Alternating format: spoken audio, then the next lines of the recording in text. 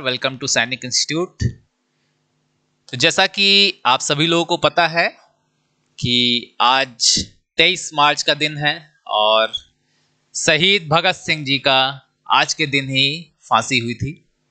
तो इसी ट्रिब्यूट को लेकर मैं आप लोगों के सामने आज आया हूँ, जो कि आप देख सकते हैं आज के दिन राजगुरु भगत सिंह और सुखदेव जी तीनों लोगों को फांसी हुई थी।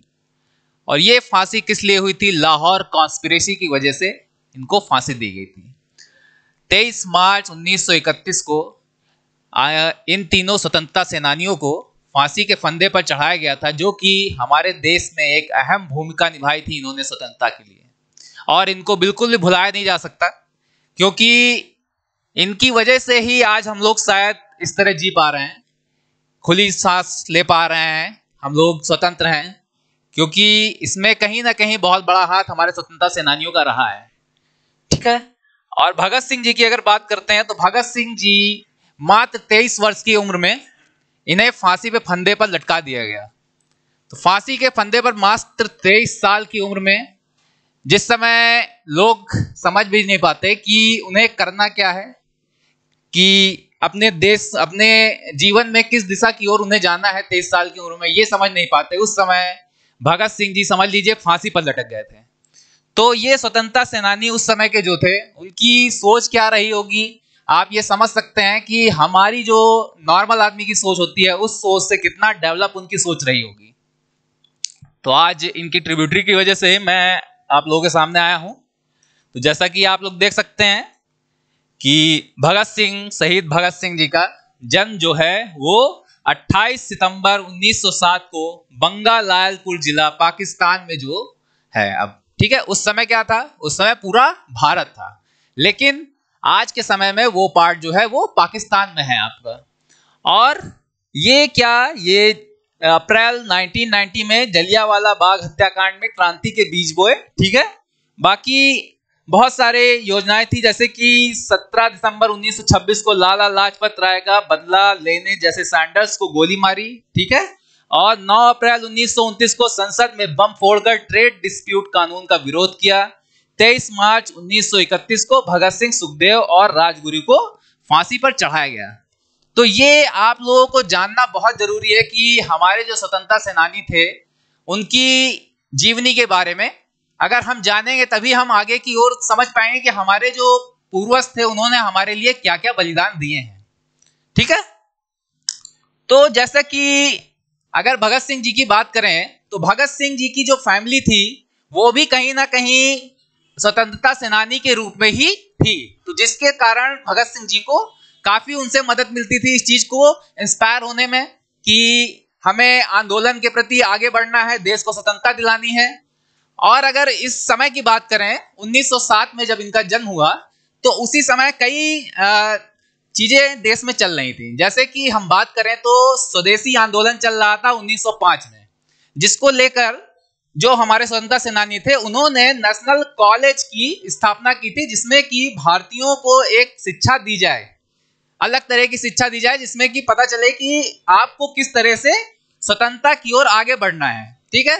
लाहौर में जिसकी स्थापना की गई थी, और 1907 में ही आपका जो सूरत अधिवेशन हुआ था, सूरत अधिवेशन में दो धड़ों में कांग्रेस जो थी, वो अलग हो गई थी। एक नरम दल में और एक गरम दल में। तो गरम दल के जो नेता थे बाल पाल लाल बाल पाल जो थे, उनसे ये बहुत इंस्पायर थे।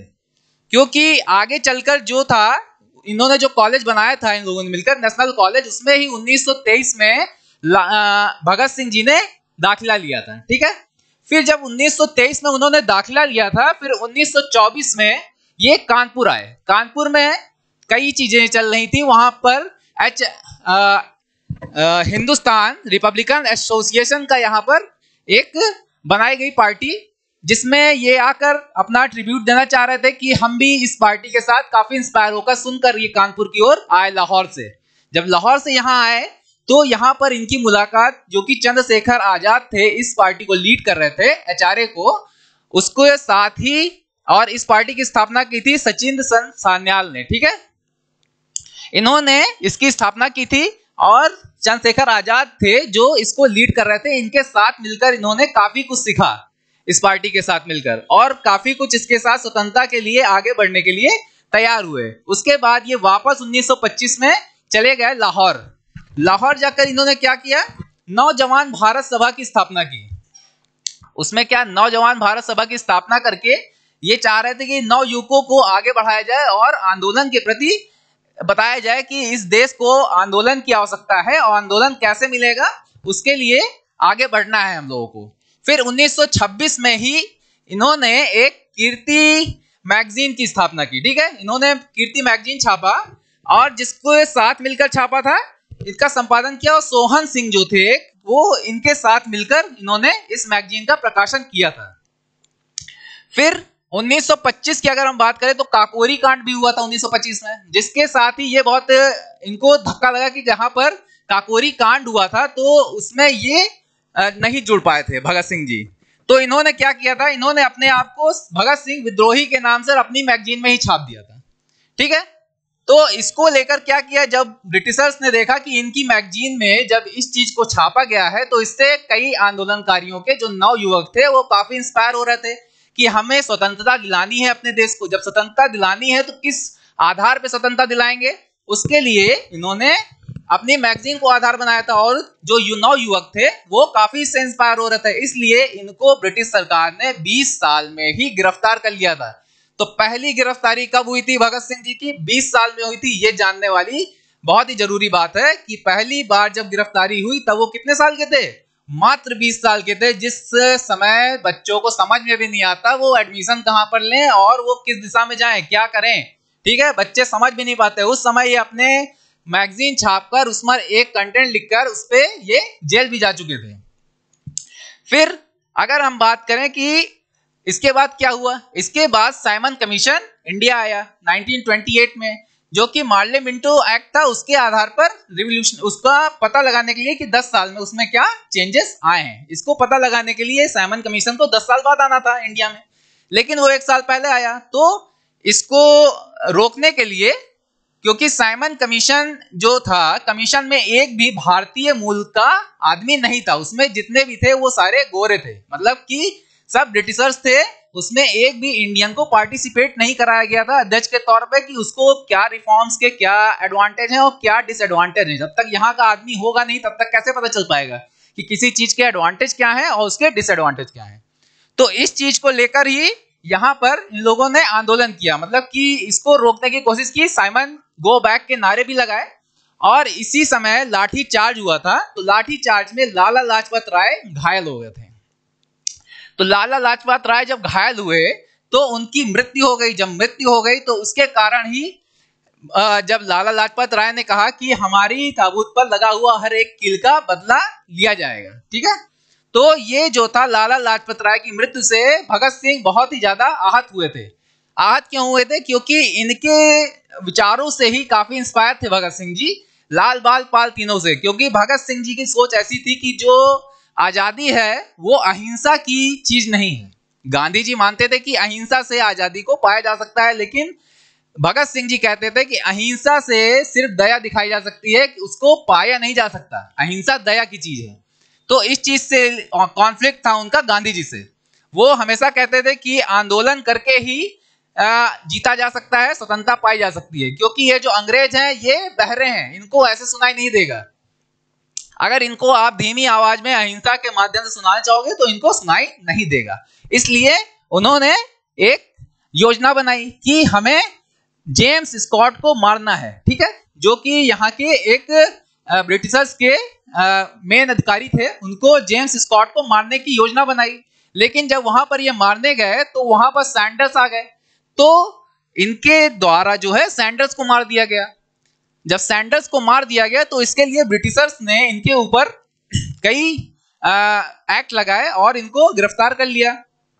फिर उसके बाद एक कॉन्स्पिरेसी जब ये सब हो रहा था, उसके बाद 8 अप्रैल उन्नीस को ही इन्होंने क्या किया? इन्होंने दिल्ली कॉन्स्टिट्यूशन असेंबली में सॉरी सेंट्रल असेंबली में इन्होंने बम फेंक दिया, दिल्ली में, ठीक है? इन्होंने दिल्ली में बम फेंक दिया और इसके बाद वहाँ पर पर्चे भी इन लोगों ने उड़ाए। इनके साथ कौन थे? बटकेश्वर दत्त इनके साथ थे वहाँ पर, जिन्होंने बम फेंकने में इनका साथ दिया और इन्होंने बम फेंकने के, बम बनाने की एक्चुअल में कागज़ वहाँ पर उड़ाया कि बम किस तरह से बनाया जाता है और किस तरह से हम लोग बम बनाकर इनको मार कर इसको स्वतंत्रता को प्राप्त कर लेंगे। ठीक है? ये चीज़ इनका एक मोटिव था कि हम आसानी से आज़ादी को नहीं प्राप्त कर सकते। हमें इसके लिए लड़ना पड़ेगा और आगे बढ़ना पड़ेगा, तभी हम आज़ादी को प्राप्त कर सकते हैं।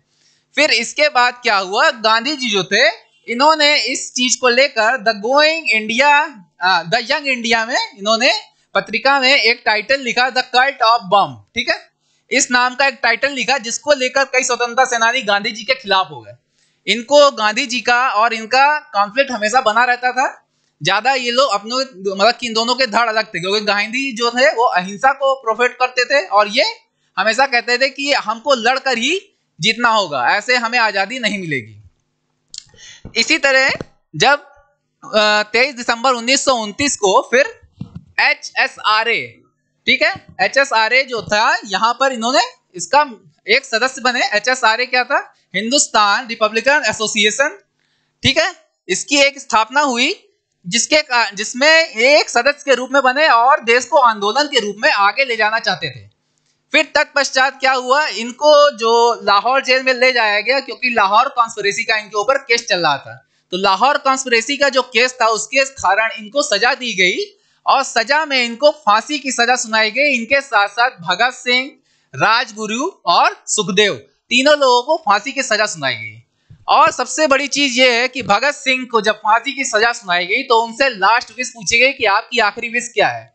तब गांधी भगत सिंह जी ने कहा था कि एक मेरा नॉवेल है, जो नॉवेल वो पढ़ रहे थे, उन्होंने कहा, मैं ये नॉवेल को पूरा करना चाहता हूँ। क्या कोई आदमी ऐसा हो सकता है कि जो, जिसकी मृत्यु का आखिरी दिन हो, और उससे पूछा जाए कि आपकी आखिरी विश क्या है, और वो कहे, क्या मैं नॉवेल पढ़ रहा हूँ, मुझे पूरी नॉवेल पूरी कर दें? कोई ऐसा आदमी हो सकता है क्या कभी? ये सिर्फ़ भगत सिंह ऐसे हो सकते हैं। और हमें इस बात की आ, अंदर से हम लोगों को खुशी होनी चाहिए कि हम लोग पूर्वज हैं किसके? भगत सिंह जी के। ठीक है? सॉरी भगत सिंह जी हमारे पूर्वज हैं। इस बात की हम लोगों को खुशी होनी चाहिए। और हमारे स्वतंत्रता सेनानी कई थे जिन्होंने हम लोगों को इस तरह आगे बढ़ते हुए हमें स्वतंत्रता दिलाई और हम लोग इनके आभारी रहेंगे हमेशा। तो एक ये छोटी सी ट्रिब्यूट थी हमारी भगत सिंह जी को लेकर। तो अगर आप लोगों को अच्छी लगी हो तो आप लोग कृपया लाइक शेयर और सब्सक्राइब ज़रूर करें। धन्यवाद।